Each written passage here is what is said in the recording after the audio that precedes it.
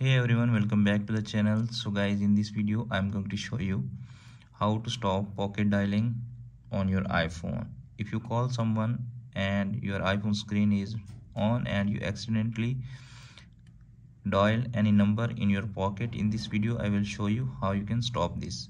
So let's start video without wasting any time. And firstly we need to change this some settings okay? Firstly go to the settings app. In settings app you need to scroll down okay. Tap on face id and passcode. Okay make sure you are set the passcode already okay in that section you need to scroll down. And you can see appears on screen here are showing required passcode. Okay tap on that. Make sure it's selected on immediately. Okay.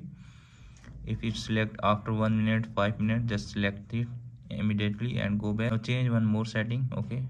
Tap on display and brightness okay? In that section you need to scroll down and you can see a person screen auto lock. Tap on that. Make sure it's selected on 30 second okay?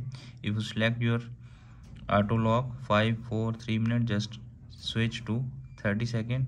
And after that when you try to call someone and after calling your iphone screen locked within 30 seconds and you will never face any pocket dialing issue on your iphone.